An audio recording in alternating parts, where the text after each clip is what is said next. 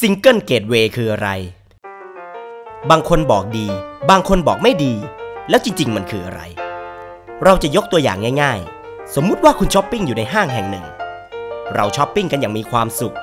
ทุกคนจับจ่ายสินค้าได้อย่างสะดวกสบาย เพราะมีถึง 10 แคชเชียร์ อยู่มาวันหนึ่ง ทางห้างมีนโยบายยุบแคชเชียร์จากที่มีอยู่ 10 แคชเชียร์เหลือเพียง1แคชเชียร์ โดยให้เหตุผลว่า ต้องการให้ระบบแคชเชียร์มีมาตรฐานเดียวกัน และป้องกันลูกค้าซื้อของที่ไม่มีประโยชน์ และด้อยคุณภาพ หลังจากนั้น ลูกค้าที่ช้อปปิ้งต้องมารอต่อคิวยาว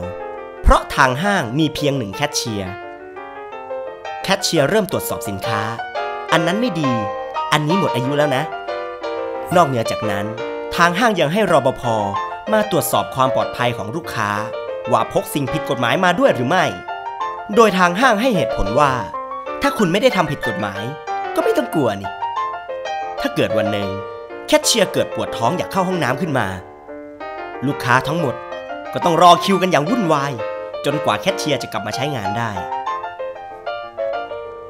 นักธุรกิจต่างชาติที่จะนำของมาขายในห้าง เห็นว่าระบบแคชเชียร์ของห้างนี้ไม่ work เลยเอาของไปขายห้างอื่นดีกว่า ไม่ว่าจะยังไงก็ตาม ทางห้างยังคงจะยืนยันว่าจะใช้ระบบแคชเชียร์เดียวแบบนี้ต่อไป แล้วคุณล่ะ คิดยังไง กับห้างที่มีเพียงหนึ่งแคชเชียร์ คุณพอใจกับแคชเชียร์ที่มีการตรวจสอบคุณภาพสินค้าและความปลอดภัยให้คุณหรือไม่ หรือคุณมั่นใจในการเลือกซื้อสินค้าของคุณอยู่แล้ว เพราะเห็นว่ามันเป็นสิทธิส่วนบุคคลของคุณเอง แล้วคุณล่ะ คิดยังไงกับ single gateway ขอขอบคุณทุกความคิดเห็น